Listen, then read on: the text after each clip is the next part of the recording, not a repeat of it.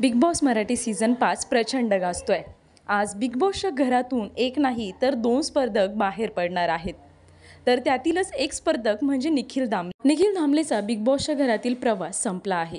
निखिलचा प्रवास संपला मात्र दुसऱ्या स्पर्धकाचे नाव काय असा प्रश्न तुम्हाला पडला असेल. तर ती स्पर्धक दुसरी तिसरी कोणी नसून योगिता चव्हाण आहे. योगिताला बिग बॉसच्या घरातून स्वतःहूनच बाहेर यायचे होते. घरातील स्पर्धकांचा वावर त्यांच्यात झालेली मस्ती भांडणं रुसवा फुगवीत हे तिला जमत नव्हते. म्हणून तिने बिग बॉसला विनंती केली होती की मला या घरातून बाहेर जाऊ द्या. मी बाहेर जाऊन स्वतःला सावरेल आणि मी स्वतःचं स्वतः हँडल करेल माझे शो करेल. मात्र या आठवड्यात या दोघांचा प्रवास संपलाय. तर प्रेक्षक हो निखिल आणि योगिता या दोघांमधले निरीक्षण तुम्हाला काय वाटते? या दोघांचा खेळ तुम्हाला आवडला का? आम्हाला कमेंट्समध्ये नक्की सांगा.